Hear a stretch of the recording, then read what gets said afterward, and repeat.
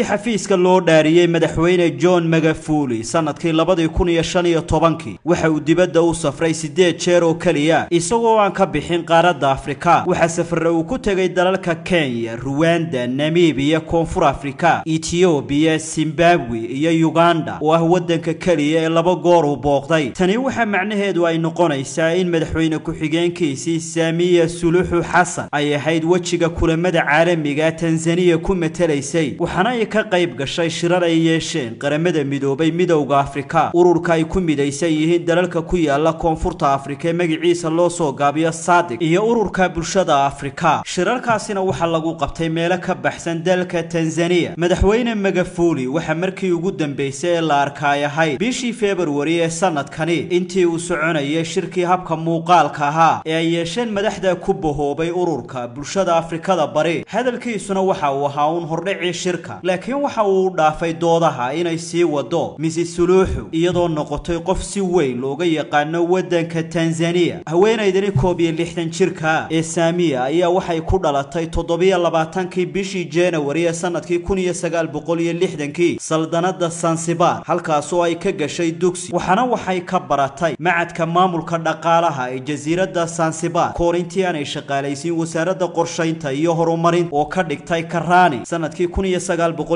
siddeetankii ayaa waxay ku biirtay jaamacadda mizumbe iyadoo baratay maamulka dawliga koor intii aanay wax ka baran macadka maamulka hogaaminta ee magaalada haydarabad ee dalka hindiya. Waxay gashay jaamacadda university of manchester ee waddanka ingiriis waxaanay ka qaadatay shahaadada labaad ee dhaqaalaha. Sanadkii labadii kun iyo shanta ayaa waxay waxay ka baratay labada jaamacadood ee open university of tanzania iyo southern new hampshire university u s a iyadoo baratay horumarinta dhaqaalaha bulshada. Waxaa siyaasadda ay gashay sannadkii labada kun. Markaasoo xubin ay ka noqotay aqalka wakiilada ee jasiiradda sansibar madaxweyne ammaani abeed karume ayaa waxa uu magacaabay wasiiru dowle waxaanay ahayd gabadha keliya ee xil wasiirnimo ka qabatay golihii wasiirada ee xilligaas iyo jasiiradda sansibar saamiya suluuxu waxay baarlamaanka tanzaniya ay ka mid noqotay sannadkii labadii kun iyo tobankii waxaana lagu doortay cod aqlabiyadda iyadoo matalaysay degmada maakunduuji sannadkii labadii kun iyo afar iyo tobankii ayaa madaxweynihii hore tanzaniya jakaya kikwete waxa uu magacaabay wasiiru dowlaha midowga xafiiska madaxweyne ku-xigeenka. Isa sanadkaasi waxay noqotay guddoomiye ku-xigeenka guddigii qortay dastuurka cusub. Sanadkii labadii kun iyo shan iyo tobankii ayaa waxay noqotay haweenaydii ugu horreysay ee madaxweyne ku-xigeen uga tartanta xisbiga talada haya tanzaniya ee c c m waxaana lala doortay madaxweyne john magafuli doorashooyinkii guud ee dalkaasi ka dhacay waa haweenaydii labaad ee madaxweyne ku-xigeen loo doorto afrikada bari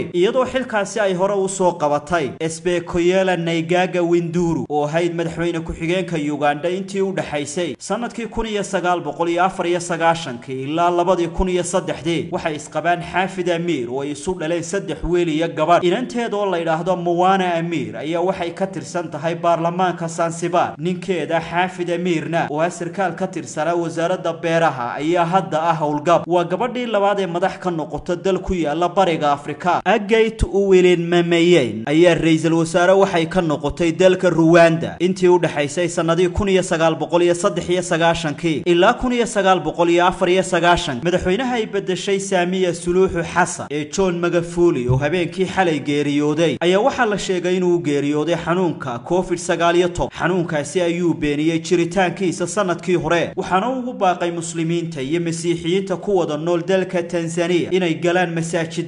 kiniisadaha oo ay ducaystaan